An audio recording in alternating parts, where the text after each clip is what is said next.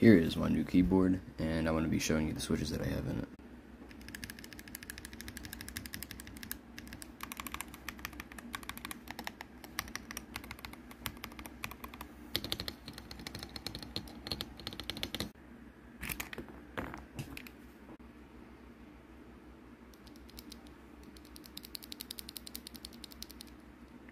This is the Higround white flame switch that comes with the Higround keyboard. I'm getting a new set of switches. They're going to be here Tuesday, and it is Thursday, I believe.